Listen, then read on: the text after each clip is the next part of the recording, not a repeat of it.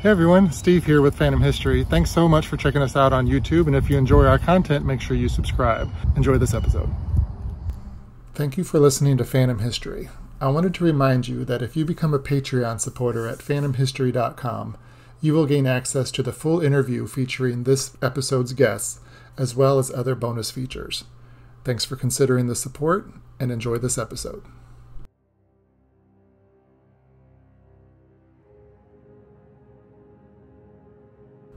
Walking to her car late at night after an evening of telling ghost stories, Aubrey Northrop often passes women in large dresses, receives courteous nods from gentlemen in the street, and regularly glimpses an occasional wave from a man sitting on his front porch. Savannah, Georgia is an active city, as most seaport based cities are, and one of the country's most historic. Aubrey works as a tour guide at the historic Sorrel Weed House in Savannah, Georgia, and it's claimed that it's one of the most haunted, if not the most haunted, mansions in the entire country. While the spirits of the mansion have made themselves known to Aubrey regularly through shadows, orbs, and sounds, it's the glances, greetings, and waves she receives on the way back to her vehicle each night that took the most getting used to. You see, Aubrey says that those greeting her on her way back to her car are no longer among the living. Every single one of them, she says, died more than a century ago, but acknowledge her just the same. It makes sense. After all, Savannah, Georgia is one of the most haunted cities in the entire country. I'm Steve Blanchard. Welcome to Phantom History. With its impressive 16,000 square feet of living space, the Sorrel Weed House, overlooking Madison Square in Savannah, Georgia, is one of the largest historic mansions in the entire city. Its name reflects two of the most famous families to occupy it during and after the American Civil War. It was built for wealthy shipping merchant Francis Sorrel, who eventually became the father of General Gilbert Moxley Sorrel, one of the youngest generals in the Confederate Army. Eventually, in 1859, the house was purchased by Henry D. Weed, and it remained in the Weed family until 1914.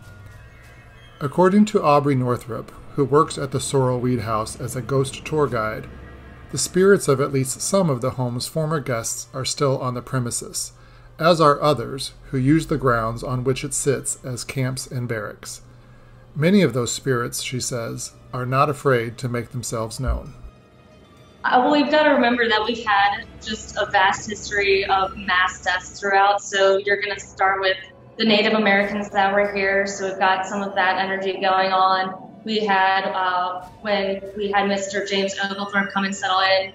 He started sparking some different uh, arguments. One of which being the Revolutionary War that came into here, and uh, that did take place right out front with the siege of Savannah. We had the Civil War take place. We had I believe, three different large fires that wiped out big parts of the city. Uh, yellow fever, scarlet fever, all of those big disease epidemics that swiped through and took a lot out. And with so many deaths occurring so rapidly, it wasn't uncommon for each situation where they would have mass graves. So almost every square that you reach at, there's probably a safe assumption that you're walking on someone's dead body, if not thousands of dead bodies. In a city that has seen so much death, it seems logical that the buildings that have witnessed most of that history would retain the energy of those former lives along with the grounds around it.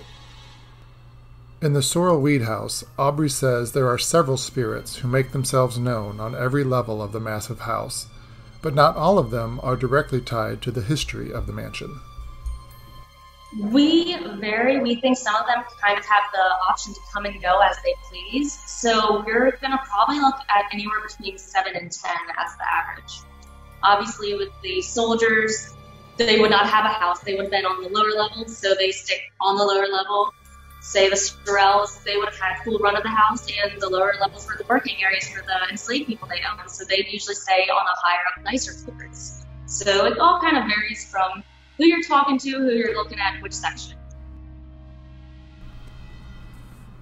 As of this interview, Aubrey has worked at the Sorrel Weed House for nearly 10 months and has guided tours during the late afternoons and late evenings. During that time, She's had her fair share of encounters with the spirits that occupy the building, she says. And while she has worked as a tour guide at other locations in historic Savannah, even she was surprised at the large number of paranormal encounters she's had in this particular mansion. So I've averaged since I started working here last year, I would guesstimate I've been at about 500 different experiences. Um, usually they're really small and simple. I'm in a women's parlor right now, and the most common thing that I get here is smelling women's perfume. We do think that memory ties can correlate with the different experiences that you're going to have. And I personally make my own perfumes, so I pick up specifically on a lot of floral notes like uh, lavender, lilac has been a big one, and I did have some SA geraniums last week as well. So smelling stuff in this room hits me a lot. Different feelings. When I first started working here, I'd say for about the first month, uh, especially in the enslaved quarters across the way in the carriage house, I could not eat any food whatsoever past noon if I had tours because I would start getting severely nauseous to the point where I wasn't sure if I could continue my tours. Hearing footsteps, I get on probably a weekly basis. Either usually it's on the top floor. When I'm in the basement, I'll hear furniture on this floor moving around. Usually it's the chairs that are out of the desks that will move. That basement, which used to be the main floor before Savannah elevated its streets, now seems to be the home of multiple spirits, all of whom gladly make themselves known to Aubrey and her tour guests. One spirit is simply known as the Shadow Man, and he has one particular area of the basement that he has claimed as his own. Aubrey has encountered him before, as have some of her guests, one tour guest told Aubrey that he felt very large hands on his face while he was exploring one corner of the basement, commonly called the breezeway. Aubrey suggested it was Shadow Man, since the figure often appears larger than life, sometimes as tall as eight feet or more. And it walks in one particular route, repeatedly, in one very specific location. That habitual pace, Aubrey says, has helped offer some clues to Shadow Man's identity. We aren't 100% sure, uh, but there are a few different factors about him that make us believe that he can be a soldier from the Siege of Savannah Revolutionary War battle. Uh, first off, even though he shows off as an eight foot tall person, uh, there have been quite a few guests. Usually, these are mediums that will take the tours that say they specialize in the focusing that they believe not only was he a soldier, but supposedly he was a very short soldier and so in the afterlife, he showed up as very tall and intimidating because he wasn't seen that way in life, which would make a lot of sense. Um, and even without bringing a medium into it, he has a tendency to pace up and down the breezeway, which would have been around where the barracks were. So if it was pacing as if he was standing guard, maybe, and people have heard heavy footsteps. That's something that I've personally heard as well and the footsteps I've heard also at Marshall House with the Civil War soldiers. So I'm already kind of familiar with soldier footsteps in the first place. Interestingly, despite her job as a tour guide at one of the most haunted locations in the city of Savannah, Aubrey has a fear of the dark. Each night, she leads groups throughout the mansion, sharing historical facts and paranormal anecdotes along the way. But when those tour guests finally leave, Aubrey usually finds herself alone, well, at least the only living person alone, in the home, turning off lights and locking doors for the night. Not too long ago, Aubrey said that she was startled and then comforted by an unusual event in the home while she was there alone. About a month or two ago, I was closing up the house and I was in the main house by myself. And when we go back there, we have to turn all the lights off and I started getting all the basic lanterns and everything downstairs turned off. And I was coming around the corner of the staircase, and I just hear this massive slam. And I knew which door made the noise. I could tell exactly which one it was. It slammed so loudly that the panes, uh, the glass in the window panes were shaking, and you could hear that shatter with it. But the thing is, that door was locked. And so it would have to be someone that had to really hit it hard. But outside of that door, is a locked gate, and outside of that gate is another gate. So there's no way that anyone could have possibly gotten to that door to make that noise. And this was also around 12:30 at night, so it was quiet enough that I could tell exactly if there were any people where they were at. When I'm closing up the house in the middle of the night, turning off all the lights in the dark, I don't do well with that. And I frequently will ask the spirits to make some type of noise, whether it's knocking on a door, uh, grabbing my hand, pulling on my skirt, whispering in my ear, anything that they can do to make me not feel alone. And they're usually pretty good at that. And I'm not sure maybe that's what they were trying to do, but kind of took it overboard a step. But it was nice. Um, I did say, hey, next time if you want to let me know you're there, tone it down a bit because that was a tad bit much and that freaked me out a bit. So maybe a smaller little knock would be fine. But it's not just noises that have proven to Aubrey that the Sorrel Weed Mansion is haunted. With her own eyes, she has seen signs of the paranormal during her time at the house, and so have multiple guests. I've seen everything from mists, orbs, shadow figures, full bodied apparitions. About a month ago, the couch that I'm sitting on right now, there were about two hands that looked like kid sized hands. It was the size of mine underneath this section that just kind of scurried back really quick as if there was a kid trying to hide. Um, so we've got a couple guests. I've brought it to the attention of some of my guests. We think we may know who that is, but you know we've got a lot going on here. And most of what is going on at the Sorrel Weed House is linked to one of the mansion's namesakes and the tragedy that befell his wife and one of his enslaved women. That story, which some debate as legend and others say as fact, can be at least partially backed up by journal entries and newspaper clippings from the time, according to Aubrey. There was the original owner, Francis Sorrel, his second wife, Matilda, who was the lady of the home for this specific property. Rumor has it, and for a lot of different articles and reports that we've personally gotten, there was a inappropriate sexual involvement between Francis and their head enslaved person. Eventually, some point came around where Matilda had walked in on Francis with this enslaved person committing this heinous act. And that would be very disturbing. She left and she eventually made her way up to the top balcony, which would have been the third floor. She did reportedly jump off and land on the bottom deck floor. Uh, she did not die instantly, though. She brought inside and did eventually perish in the home. And then after only two weeks, the enslaved person that was involved was found hanging, which is more believed to be a murder. That enslaved woman, named Molly, was likely a victim of the times and was forced into the inappropriate relationship by the master of the house. The alleged murder, if that is in fact what happened to Molly, has never been solved, but newspapers did document the death of Matilda who, as Aubrey said, somehow fell from the third floor balcony, sustained severe injuries, and then died a short time later within the house. The spirits of all three people in this tragic tale, Aubrey says, still roam the home and have been seen by those within its walls and even captured on cameras by those walking past the square out front. All three of them are believed to be here. Francis went on to die in the neighboring house right next door, However, it is believed that he does come back here quite a bit. This was his original home, so it would be safe to assume that he would watch over everything. Uh, Matilda is usually seen in the windows from the front of the house. If you take a picture, it's not uncommon to get her. I've done that. I've had a handful of walking tours that have come through and said they've gotten her. Usually on the top floor, which would have been where the master bedroom was, and she's usually looking out. But then we had a lady about two weeks ago say that she saw her standing in the gentleman's parlor. She's been captured a few times in different pictures by the guests that have taken our tours. And then Molly, the enslaved girl in the carriage house, is also frequently seen, usually in her bedroom.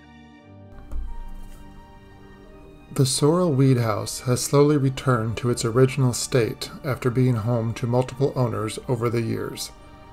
Money raised from the tours Aubrey and her colleagues give at the house have helped in that restoration. However, the furnishings and decor that now adorn the historic home are not original and all have been brought in from other locations and is a representation of how the home looked during the time of the Sorrels. Often, spirits can connect themselves to items. but Aubrey isn't sure if any of the furniture has specific energy tied to it. But she does know that one room in particular, down in the basement, has quite a powerful impact on guests of the tours, especially those with medical conditions. Uh, the only thing that we know brought some energy with it, not so much spirit, but some just residual energy would be uh, downstairs in the surgical room. We have an old medical kit and we have musket bullets. So the musket bullets were taken from the property during an excavation process we did in the courtyard. So those are from this property, from the siege of Savannah, and very well could have possibly killed people. So it wouldn't surprise me if that had something to do with some of the energy we get. And then the medical kit, uh, there are dental pliers on the top shelf. And about three years ago, three or four years, people started reporting aches and pains in their mouths specifically and tasting blood. So we're wondering if maybe those dental tools had some energy to, to cause those pains. Those dental pliers and the recovered musket balls from the courtyard all likely saw some agonizing history on the land surrounding the home or somewhere nearby. But why, exactly, would a home built in 1840 have a surgical room hidden within its lower levels? The answer, according to Aubrey, isn't as surprising as you might think. So that would have been an operating room for a gentleman named Frank Sorrel. He was Francis's first wife. Uh, they had the youngest child that went on to be Frank. Frank was a very skilled trauma surgeon, and he was one of the few people back then to go to multiple medical schools, get multiple degrees, and he was very, very skilled, which was good. However, that also meant that his survival rate was roughly around 50%. He did operate down there in that specific room for quite a few years until the Civil War hit. He was then enlisted and moved out to go assist with the medical service on that side. Safety wasn't as big as it is now, so uh, carriage accidents, especially on squares, happen quite frequently here in Savannah, and could potentially be fatal. A horse gets spooked, takes that turn too hard, flips over. That could cause a lot of injuries. With Savannah being a big shipping port, uh, everyone that would need medical attention from the different shipping merchants coming by through, uh, the different ironwork foundries, you would have a lot of injuries there. So honestly, him working here alone, it would be a great way for practice because just generalized accidents happen frequently and they were much more severe and not as easily treated back then. But for a while, we did have him operating back there, and with roughly around, say he operated on 10 people a day, five people would unfortunately die. We think that did cause quite a bit of residual energy to be left behind as well. It wasn't just the injured who perished in the home, nor was it only soldiers from a number of bloody wars. Children also passed away, mostly due to childhood illnesses that could not be treated properly at the time. Aubrey says several of those children remain in the sorrel weed home, and, just like their living counterparts, they are friendly and mischievous, depending on which ones decide to interact.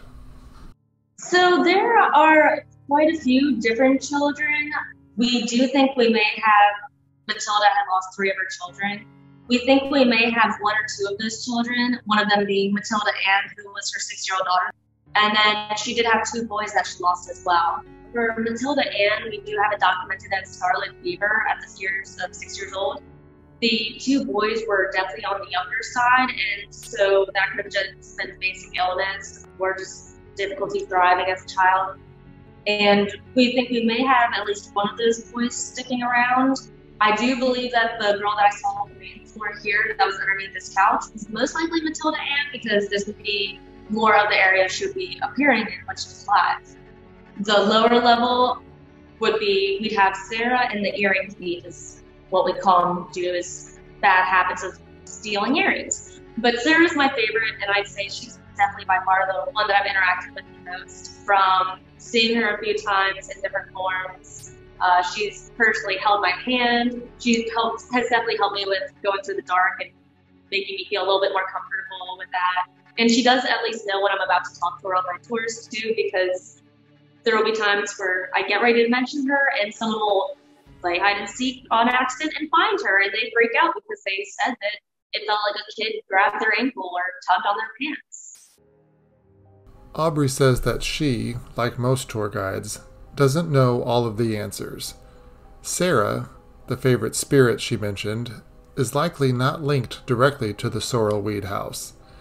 Investigators and guides aren't even sure why that spirit is there, but through multiple spirit box sessions, they have been able to find out her name, at least. The earring thief, who is usually spotted in the basement, is likely one of Matilda's boys who died at a young age, but that spirit has yet to reveal its true identity. Fortunately for Aubrey and for the guests at the house, the spirits there seem friendly, or at least accommodating to those interested in learning the history of the house and taking a glimpse back into time of what used to be a social hub of Savannah, Georgia. Aubrey often leaves work late, and, like most of us, she rarely leaves her work behind as she heads home. In fact, her interactions with the spirits of Savannah rarely end when she turns the lock on the door of the sorrel weed house. When I leave work, it's usually late at night, if, especially on our slower season where it's less touristy out, and it can sometimes just be me and maybe one other person in a square. And I will notice that even though I know that it's only me and one other living person on the square, I can walk around and I'll see uh, shadow figures, ladies in full evening gowns, different people just walking by me casually. Quite often, even the Green Meldrim House, there's sometimes a person that likes to sit outside on the porch and they'll wave to me as I walk by going to my car. You can hear the soldiers walking around on occasions as well. Again, I'm familiar with that bootstep sound, so I can pretty pinpoint them out pretty easily there's just a lot of people everywhere. I like to say that in both a nice and a creepy way, you're never alone. Thank you to Aubrey Northrop with the Sorrel Weed House of Savannah, Georgia, for sharing her knowledge and experience for this episode of Phantom History. For more information on the historic building or to book your own tour, visit sorrelweedhouse.com. If you would like to hear even more about Aubrey's paranormal encounters at the Sorrel Weed House, consider supporting the podcast through Patreon, where you will gain access to full interviews with guests and other bonus materials that dive deeper into the history and hauntings of historic locations around the country. Music for this episode was provided by Chad Couch, Silverman Sound, and Purple Planet Music. You can follow Phantom History on Instagram, Facebook, TikTok, and Twitter and contact me directly with ideas for future episodes at podcast at phantomhistory.com. As always, thanks for listening. Hey, Steve here. Thanks so much for checking out that content. And before you go, I wanted to let you know that if you become a supporter of the podcast through Patreon, you'll gain access to bonus content. And if you subscribe to our newsletter at phantomhistory.com, we will let you know when that bonus content becomes available and when a new episode drops. And one more thing, I'm always looking for ideas for future episodes. So if you have an experience or a location you think that I should focus on, please let me know through the website or you can email me directly at podcast at phantomhistory.com.